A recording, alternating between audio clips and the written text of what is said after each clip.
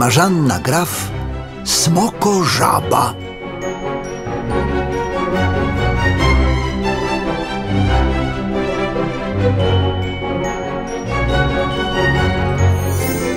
Nie wszystko jest tak proste, jak nam się wydaje. Nie wszystko rozumiemy i nie wszystko widzimy. Świat kryje wiele tajemnic. Jedną z nich jest historia jedynej na świecie smokożaby. Nikt o niej by nie wiedział, gdyby nie spotkał jej najmniejszy na świecie smok. O, o, o, o, o. o, ja wypraszam sobie takie słowa. Świat o mnie nie wiedział, bo ja tak chciałam. a, a, a, I to ja, ja odkryłam tego małego smoka, a nie on mnie. Dobrze, Lucy, nie denerwuj się. Po prostu każdą bajkę no trzeba jakoś zacząć. Dobra, dobra, niech będzie. Opowiadaj, narrator. Ty, ale pamiętaj, że to nie ja jestem ciekawostką, ale ten maleńki smok. O nim opowiadaj, okej? I nie obrazisz się, że tyle o smoku, a o tobie potem? Nie, no przestań, przestań. Jeszcze ktoś pomyśli, że ja obrażalska jestem. Ja jestem piękna, smokożaba. Ja znam swoją wartość. No opowiadaj już o tym smoku zamiast dyskutować ze mną. Ja tu sobie siądę z boku, posłucham. No, zaczynaj, no. Ojejku, dobra. Odpowiem ci początek. Nocą, gdy wszyscy śpią, w łazience domu przy ulicy Kwiatowej 17 pojawia się błysk. Nocą, gdy wszyscy śpią, w łazience domu przy ulicy Kwiatowej 17 pojawia się mały błysk. Widać go tylko przez ułamek sekundy. Odbija się w lustrze wiszącym nad zlewem.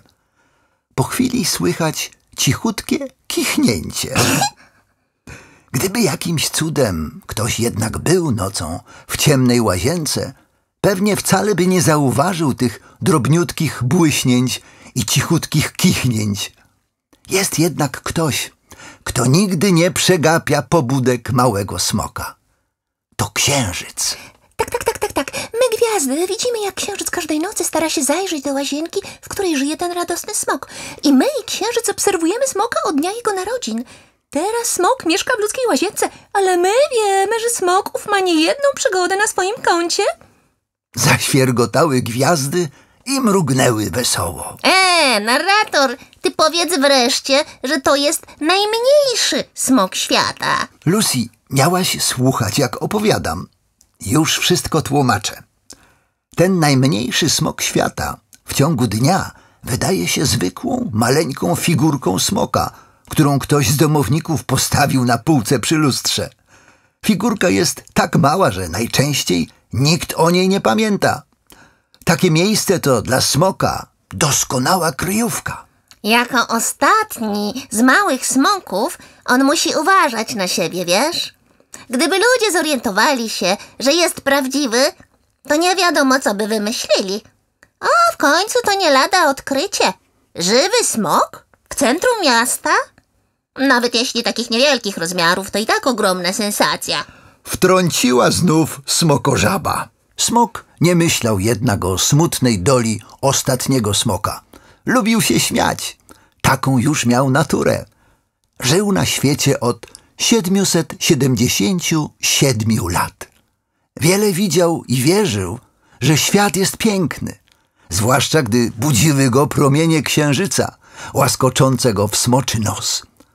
Czuł, że ma w księżycu przyjaciela.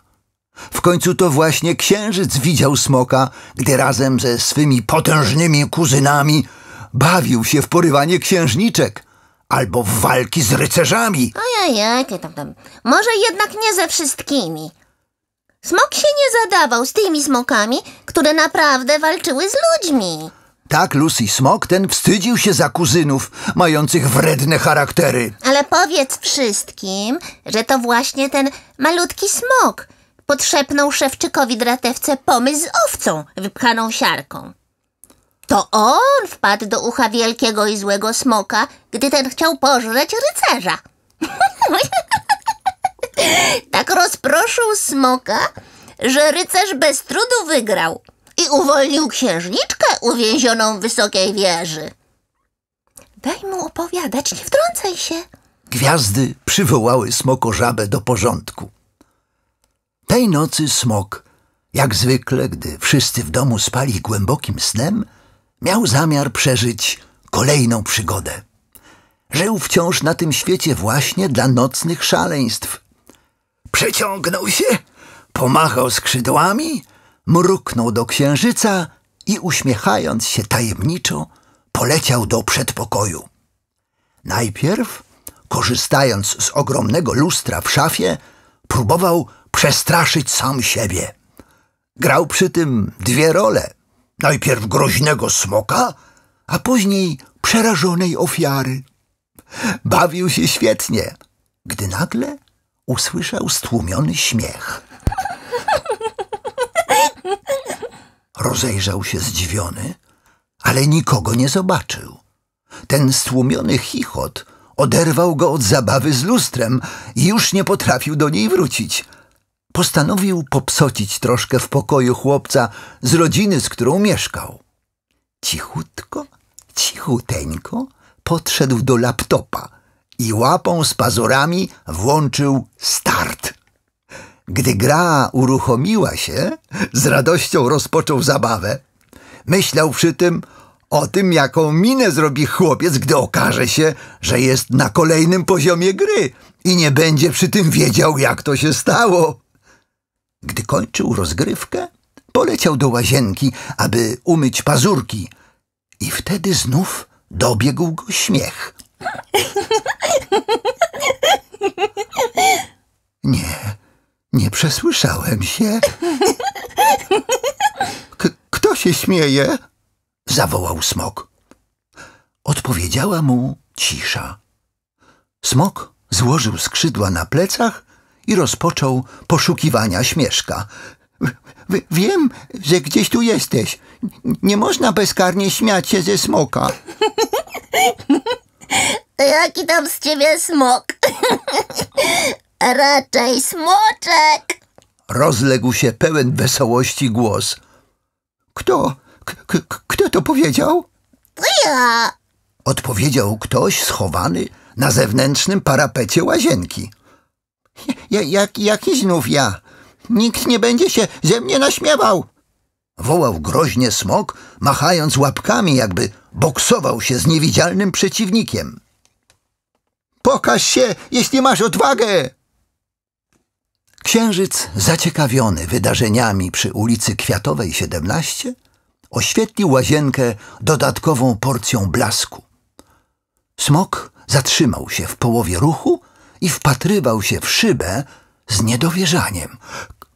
Kto to? Co to? Smoczek przekrzywił głowę. Postać po drugiej stronie zrobiła to samo. K kto to? To, to? to ja? Nie ja, tylko ja. A, jesteś moim odbiciem? Ja tam jestem?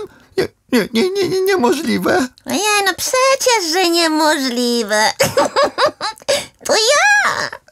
Tak, to, to, to nie ja, to, to, to, to jakieś dziwadło. Smok w zdumieniu patrzył na przednie smocze łapy, zakończone pazurami. Jego były identyczne.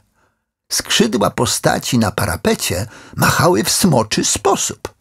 Miały kolor i wygląd zupełnie taki sam jak jego. Ale buzia? Nie buzia, raczej pysk i to dziwny pysk. Przypominał żabę. K ktoś ty, a, albo raczej coś ty, c- czemu udajesz smoka? A może ja nie udaję, hy? Może ja nie udaję, tylko nim jestem. Odpowiedział z rechotem stwór na parapecie.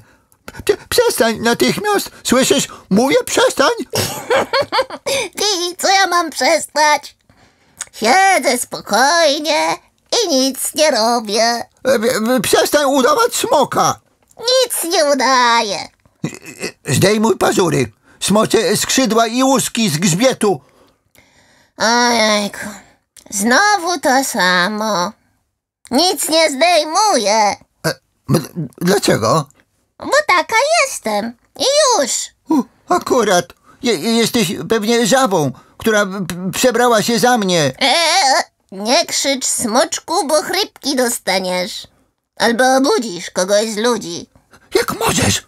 Nie wolno tak się naśmiewać ze mnie. Jestem szmokiem! Powinnaś się mnie bać! Eee, nie mam zamiaru bać się takiego maleńkiego smoka. Ty, ty, a może ty przestraszysz się mnie, co? Przestań! Nie jesteś szmokiem. M- Masz za brzydki pysk. Mam już dosyć takiego życia. Jest mi bardzo, ale to bardzo smutno. Powiedział stwór po drugiej stronie szyby. Po jego pysku spływała łza. E, Nie, nie, nie, nie bec, no. Nie, nie chciałem cię obrazić, no. Nie bec, no. Ja nie beczę. Tylko jest mi smutno. Nawet ty nie nadajesz się na przyjaciela. A myślałam, myślałam, że się zaprzyjaźnimy.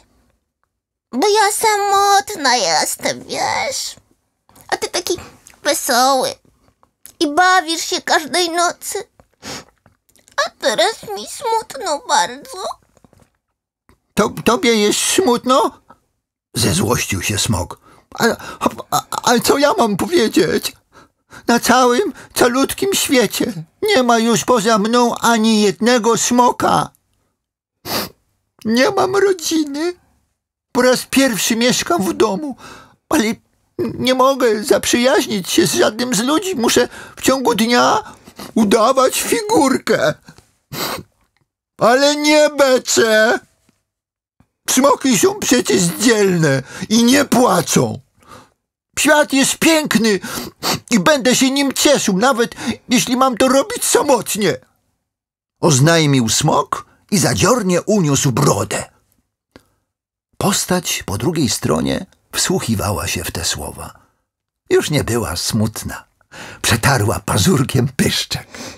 Ja już nie beczę. No, to, to, to zdejmij wreszcie przebranie smoka. Smoczku, a może przydałyby ci się okulary, co? Ty otwórz mi wreszcie lepiej okno i zobacz, jak to ja niby się przebrałam. Smok rozejrzał się niepewnie, ale ciekawość przeważyła. Ostrożnie zahaczył pazurem o klamkę i uchylił okno.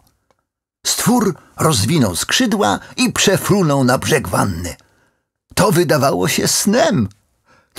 Nie, nie, niemożliwe, to, to, to, to, to niemożliwe, nie, nie, nie, nie, niemożliwe, niemożliwe. Powtarzał smok, obchodząc gościa dookoła. E, smoczek, skończyłeś? Zaraz zakręci ci się w głowie. Ty przestań tak krążyć i powtarzać to swoje niemożliwe, Ale, ale, niemożliwe. ale to, nie, to, to niemożliwe, niemożliwe. Nie, nie, nie, nie, to jest, to jest niemożliwe. No, ki, ki, kim ty jesteś? Mam na imię Lucy. Jestem smokożabą. A ty? Ty jak masz na imię? Imię? Ja, ja, ja nie mam na imię. To, to, to znaczy, nie, nie pamiętam go. Od tylu wieków jestem sam, a sam sobie nie, nie muszę się przedstawiać. Jestem najmniejszym i jedynym smokiem na świecie. Wy- Wystarczy więc mówić do mnie, no po prostu smok. Nie, przestań, przestań. Każdy musi mieć imię.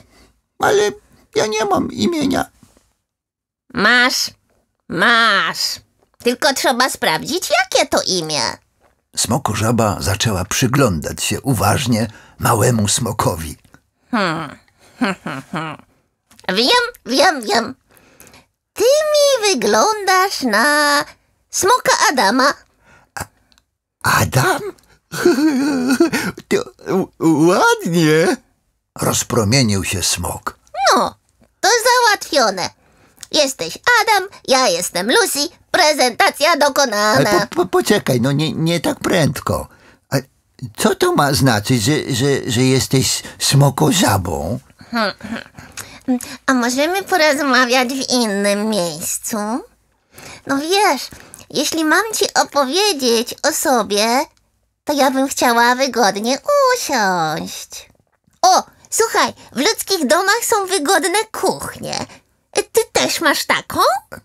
Dobrze, możemy tam polecieć, ale musisz być bardzo, ale to bardzo cicho, rozumiesz? Nie możemy obudzić ludzi. P- Potrafisz tak? Ojejku, no.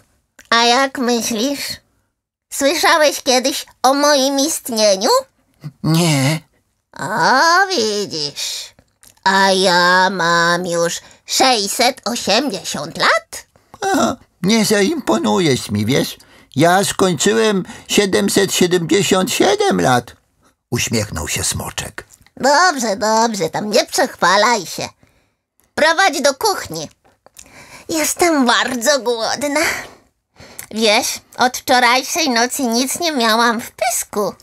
Zaraz, zaraz. Nie, nie, nie było mowy o żadnym jedzeniu. Miałaś tylko opowiedzieć mi o sobie, a nie jeść. Zresztą to ludzkie jedzenie i lepiej, żeby nie zauważyli, że coś im brakuje. No przecież ty też musisz coś przekąsić, prawda? No, to co jadasz? No, wiesz, ja, ja jestem maleńki. Ja zjadam troszkę tak, żeby ludzie nie wiedzieli. Chyba każdy człowiek myśli, że zjadł to inny człowiek. No, nie zastanawiałem się nad tym. Mhm. Obserwowałam cię od zmroku. Wygłupiałeś się, wygłupiałeś i nic nie zdążyłeś zjeść. A przecież nie będziesz wcinał sam. No wypada poczęstować gościa. Nie, ty nie bądź taka cwana. M- Muszę tak jeść, żeby ludzie się nie zorientowali. Tyle czasu tu mieszkasz, że wiesz, ile czego można zabrać. Po prostu podziel się tym, co masz. Ze mną. Wiesz co? Ty jesteś świnia, a, a nie smokożaba. E, e, e, e, e. Tak bezczelnie się wpraszasz. Uważaj, smoczku, na to, co mówisz. Od wieków gadasz sam tylko ze sobą i ty chyba zapomniałeś, co to jest dobre wychowanie. Jak ci nie pasuje, to idę sobie. Smokożaba z obrażoną miną ruszyła w stronę okna. Siedź tak sobie tam przez kolejne wieki. Odezwę się za następne 777 lat. Lucy, po, po, poczekaj. Bo, może, może trochę przesadziłem, no. Nie, nie odchodź. Ja, ja, ja naprawdę nie rozmawiałem z żadną żywą istotą od... No, nie pamiętam już od kiedy, no. Zostań. Proszę. W oczach smoczka pojawiły się łzy. Bał się, że Lucy pójdzie sobie i nigdy już nie wróci, a przecież chciał się z nią zaprzyjaźnić. Doskwierała mu samotność. Nie potrafił sobie dokładnie przypomnieć, kiedy z kimś rozmawiał. A, dobra, tam dobra. Nie jestem taka obrażalska. Uśmiechnęła się Lucy. No dobra, co z tym jedzeniem? Dobrze, no, zaraz coś znajdziemy. Wczoraj czułem, jak mm, piecze się ciasto. Pewnie jest schowane w kredensie. No to na co czekamy, na co czekamy? Zaśmiała się smoko żaba i już leciała w stronę kuchennego kredensu. Obwąchała mebel i po chwili podważała pazurem odpowiednie drzwiczki. Sernik, Zawołała i odkroiła pazurem dwa malutkie kawałki. Jeden podała smokowi, a z drugim na pazurku rozsiadła się wygodnie na brzegu stołu. Przez chwilę w ciszy oboje zajadali.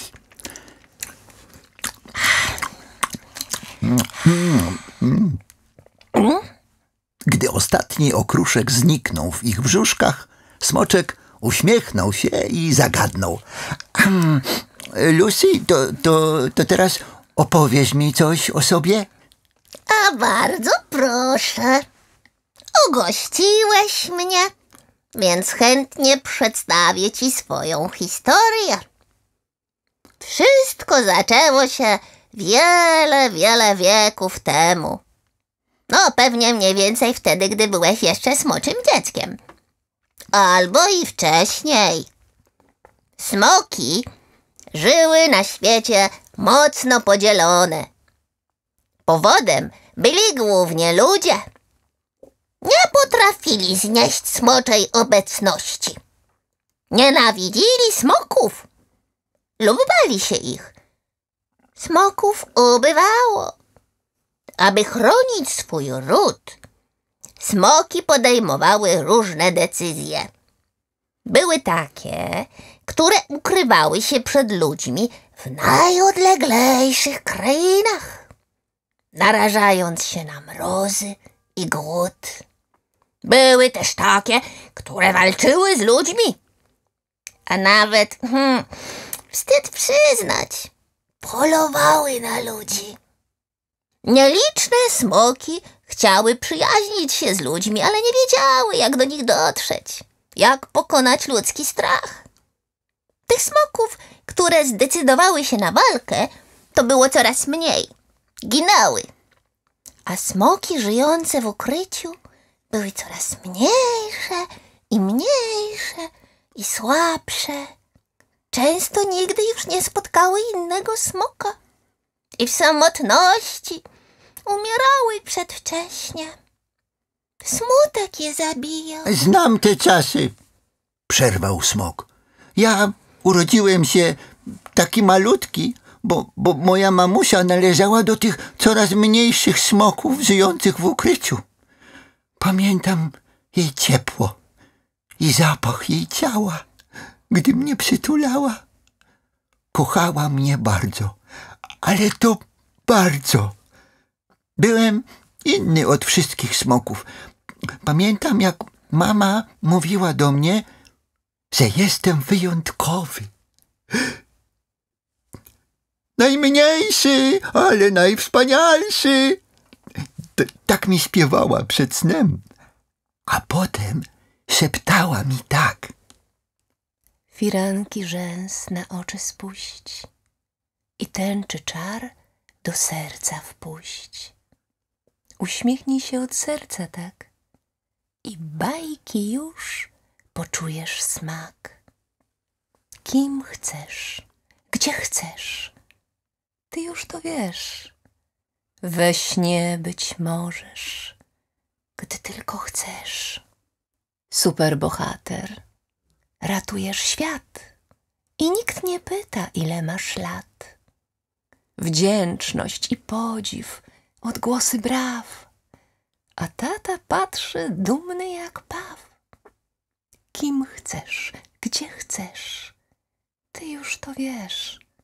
We śnie być możesz, gdy tylko chcesz. No, twoja mama była wspaniała. Tak jak i mój tata. Szepnęła smokożaba i objęła Adama skrzydłem. Przez moment w kuchni panowała cisza. Słychać było tylko leciutki warkot lodówki.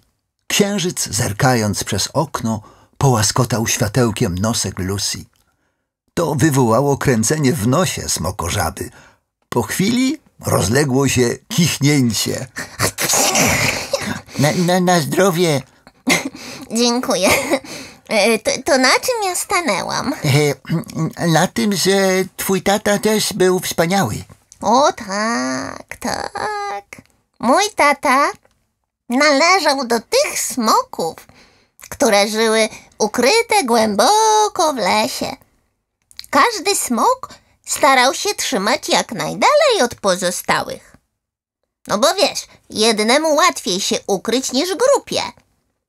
Kiedyś tata wyszedł na nocny spacer. spojrzał na księżyc i powiedział. Jak dobrze, że chociaż ty nie uciekasz przede mną z krzykiem. I wtedy usłyszał miły głosik mówiący. Ja też nie uciekam przed tobą. Niby dlaczego miałabym to robić? Przecież nic nikomu złego nie robisz. Tata, zdziwiony, zaczął się rozglądać, ale nikogo nie widział. Chyba zwariowałem z tej samotności, bo słyszę głos, a nikogo nie widzę. Tu jestem. Odpowiedział głosik i po chwili z za gałęzi wyszła żaba.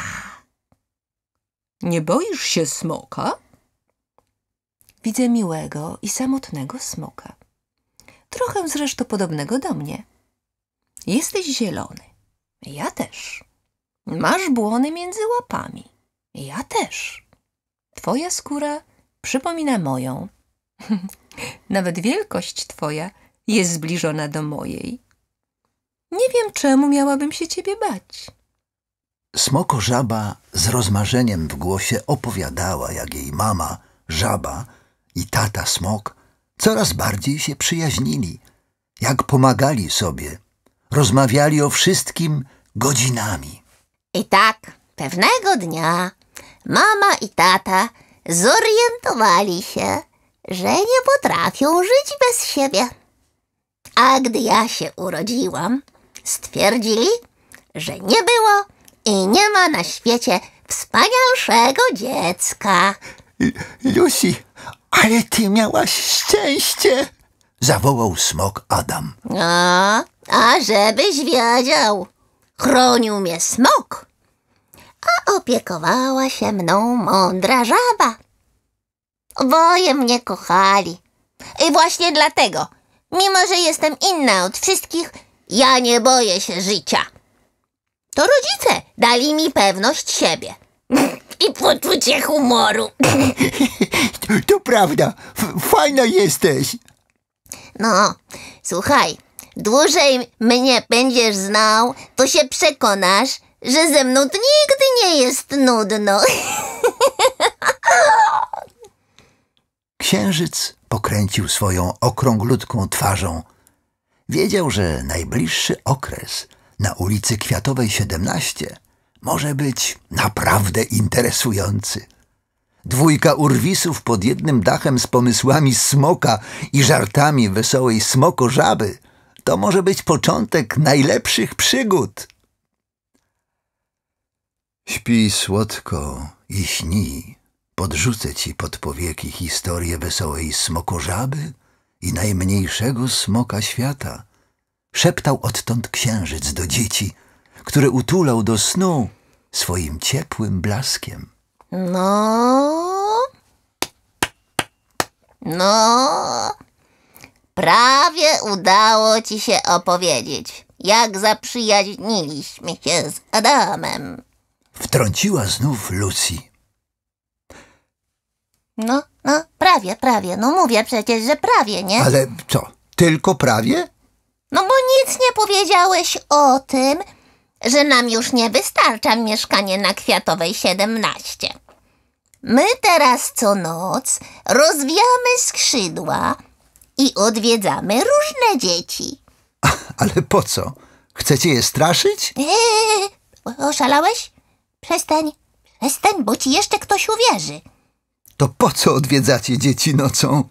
Ojejku, opowiadamy im przez sen różne historie z naszego życia, a czasem bajki, które sami wymyślamy. Bardzo to lubimy. Dzieci śpią i śnią te nasze historyjki.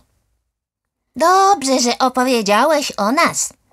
Teraz dzieci będą wiedziały, że istnieje taki najmniejszy smok świata, którym opiekuje się dzielna smokożaba.